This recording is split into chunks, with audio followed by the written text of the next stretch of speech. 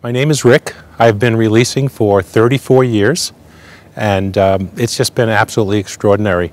There's no piece of my life that it hasn't affected because it's what it's done for me is given me a very, very deep sense of peace and well-being and whatever difficulties, challenges, whatever life throws at you, you deal with it, but just from this inner centered place of stillness and quietness, and life's just much easier. Things happen uh, with more ease, more grace. It's affected my family. I've been married to a wonderful woman for 44 years. We have fabulous relationship, five children.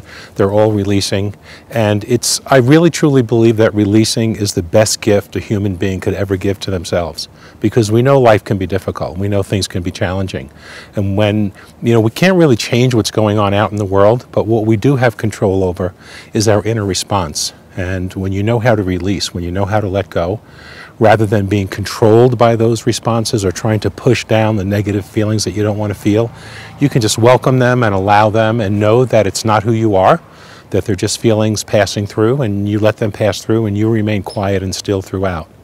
So there's truly no greater gift that a human being can have, in my opinion, than learning how to release.